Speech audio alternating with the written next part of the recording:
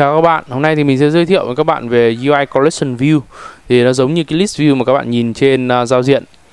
À, Bây giờ chúng ta sẽ mở một cái project mới và chọn single uh, view app Và chúng ta đặt cho nó một cái tên. Sau đó thì uh, chúng ta sẽ set một số các cái thuộc tính ví dụ như organization này. Uh, Language các bạn chọn script nhé Đây là mình chạy Xcode 9 và script 4 mới nhất. Uh, sử dụng core data hoặc những cái unit test này chúng ta chưa cần và chúng ta next. À, chúng ta uh, create. Và bây giờ chúng ta bỏ cái phần landscape left and right đi. Chúng ta không cần cái uh, cái cái ờ, xoay màn hình lúc uh, trái phải nữa. À cùng ta chúng ta là iOS 11 ta xóa cái main interface xóa cái storyboard đi. Đấy các bạn xóa cái uh, file main storyboard đi này. Các bạn xóa cái uh, view controller đi này. Chúng ta không cần nữa. Chúng ta sẽ tạo ra một cái file uh, main view controller của chúng ta. Đấy thì chính là cái file ờ, cái cái màn hình đầu tiên nó sẽ gọi đấy ở đây mình sẽ file main view controller sẽ kế thừa từ UI view controller và mình không cần chọn file ship. Bây mình sẽ tự viết giao diện lấy không cần phải tạo file ship. Và language là script đây script 4 rồi thế các bạn next ok. Thì uh, các bạn thấy rằng là cái file main view controller này nó được tạo ra và nó là cái màn hình chính của chúng ta đấy. Giờ chúng ta muốn nó biến thành màn hình chính gọi đầu tiên thì trong cái hàm uh, Ờ, này của app delegate chúng ta sẽ tạo một cái đối tượng main view controller kiểu led có nghĩa là không đổi có nghĩa là constant. Chúng ta uh, khởi tạo một lần. Ờ, cái navigation controller cũng tương tự như thế. Uh, và chúng ta khởi tạo chúng ta khởi tạo cái UI Navigation Controller với cái root view là cái main view controller chúng ta vừa tạo ở trên. Ok. À, sau đó thì uh, chúng ta sẽ có một cái uh, Windows. Thì trước tiên thì chúng ta sẽ set cái ờ, navigation bar nó ẩn đi. Tức là chúng ta cho hôm nay cái cái cái cái màn hình nó toàn màn hình và nó không có cái cái ờ, navigation bar nữa. À, chúng ta tạo ra một cái đối tượng window có cái kích thước có cái frame. Tức là cái kích thước của nó là bằng cái kích thước của device thiết bị của chúng ta. Và cái root cái thuộc tính root view controller nó bằng cái navigation controller chúng ta tạo ở trên. Sau đó thì uh, à, chúng ta sẽ thử bằng cách là cho cái view nền của à, main view controller sang màu đỏ thôi. Sau đó chúng ta chạy nếu mà nó ra màu đỏ là đúng. Rồi ok. Cái này nó đã ra màu đỏ. Có nghĩa là uh, cái navigation của chúng ta đã chạy ok rồi.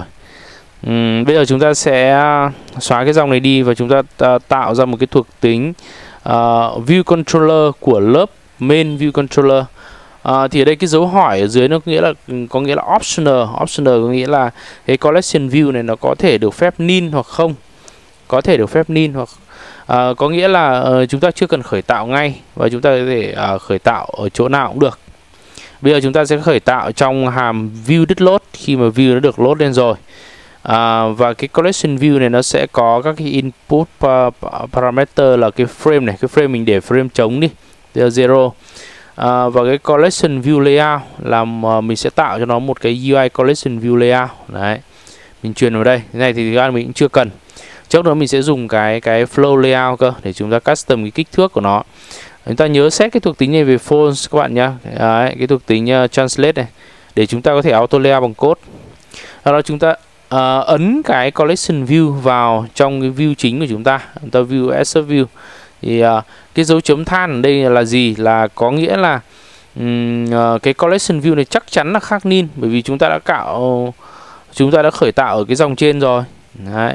bây giờ chúng ta auto layout chúng ta sẽ auto layout cái chiều uh, leading uh, từ, với cái chiều leading của um, của của của view chính và cái chiều trailing đến cái chiều trailing của view chính. Nó giống như là chúng ta ở line bên trái và ở line phải đó ở đây thì cái sự khác nhau giữa leading uh, so với left uh, left là gì? Là cái leading nó phụ thuộc vào uh, ngôn ngữ. Ví dụ như cái ngôn ngữ chúng ta Latin viết từ trái sang phải thì cái leading nó là left. Thế còn nếu mà uh, ngôn ngữ chúng ta lại viết từ phải sang trái ví dụ như là tiếng Ả Rập tiếng Hebrew chẳng hạn thì nó sẽ viết uh, thì leading nó sẽ là là là bên phải. Đấy.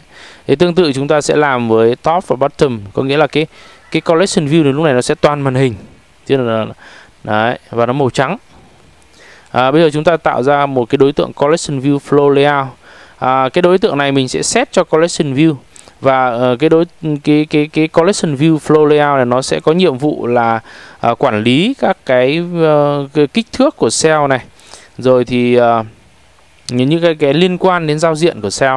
Đấy của của của mỗi một cái cái phần tử trong cái collection view thì chúng ta gọi là cell hoặc là item đều được. À, bây giờ chúng ta set cái collection view layout cho cái ờ, collection uh, view flow layout. Đấy chúng ta set cái collection view flow layout này cho uh, flow layout của collection view và chúng ta chọn. Bây giờ chúng ta có thể uh, sử dụng cái flow layout để set cái chiều. Bây giờ cái cái chiều chiều cuốn cái cái scroll direction lúc này là vertical tức là chúng ta từ cái chiều chúng ta là từ trên xuống dưới lấy tay chúng ta vuốt từ trên xuống dưới và từ dưới lên trên. Thì đấy nó gọi là vertical theo chiều dọc có nghĩa là chúng ta có thể vuốt từ trên xuống dưới. À, bây giờ chúng ta sẽ phải register một cái cell. Ở đây là collection ờ, view mình sẽ register cái kiểu dữ liệu của từng cái cell trong đấy. À, từng cái cell trong đấy sẽ có kiểu dữ liệu mình để mặc định là UI collection view cell. À, và mình đặt cho nó một cái key à, một cái ID đấy cái ID này mình dùng một lần và không thay đổi. À, có thể dùng nhiều lần nhưng không thay đổi. Thế nên là chúng ta cho định nghĩa là một cái let ở đây. Đấy, let là nghĩa là không đổi let constant. Sau đó chúng ta ở đây chúng ta gọi ra. Thì chúng ta đỡ phải mất công chúng ta paste cái sample cell đến các nơi. À, cái bây giờ đến cái delegate. Cái collection view chấm delegate bằng cell có nghĩa là gì? Có nghĩa là cái đối tượng delegate này uh, cái cái cái đối lượng tượng delegate này nó là một cái uh, protocol UI collection view delegate. Và khi chúng ta uh, khai báo như thế này có nghĩa là uh, trong cái class này nó sẽ phải thực thi các cái phương thức nằm trong cái cái cái protocol này UI collection view delegate. Đấy. thì các bạn xem có thể xem qua cái phần protocol trong cái uh, list sweep 4 của mình mình sẽ giải thích rõ hơn. Tương tự với cái data source cái nguồn dữ liệu của chúng ta thì nó uh, cũng Ờ, sử dụng một cái protocol là UI collection view data source Đấy.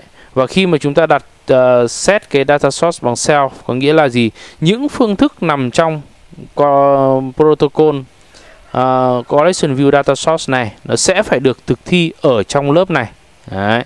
Giờ chúng ta xóa bớt những cái không cần thiết đi.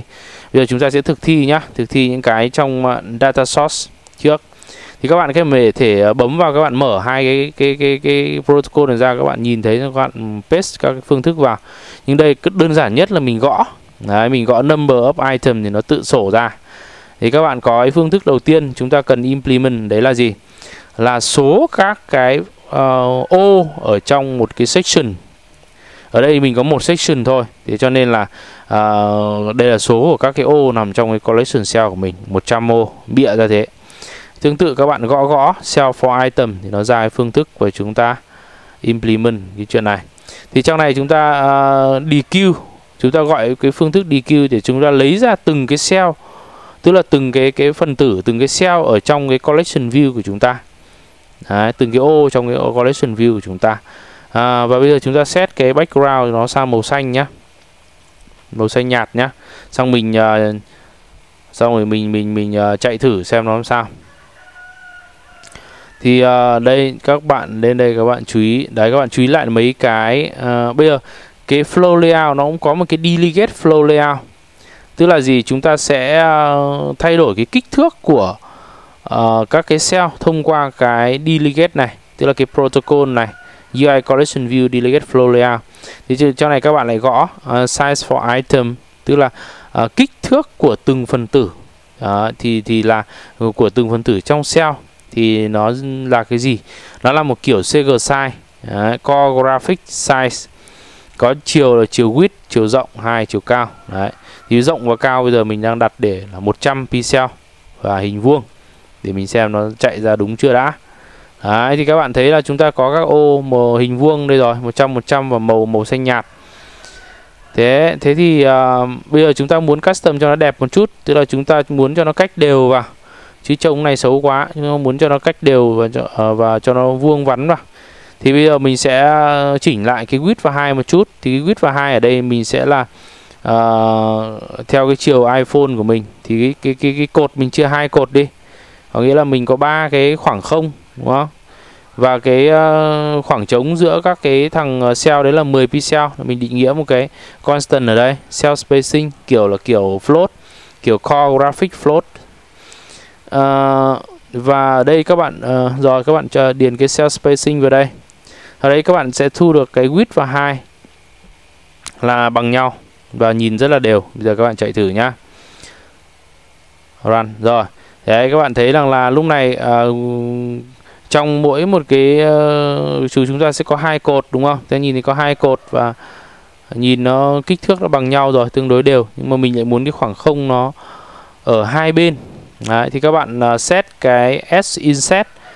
Uh, thì cái này nó như là cái cái cái align left right ở, ở trong trong ờ, web chúng ta hay làm ấy. Tức là bây giờ cái khoảng không uh, cái nó nó giống như cái margin của chúng ta hay là margin left margin right ấy.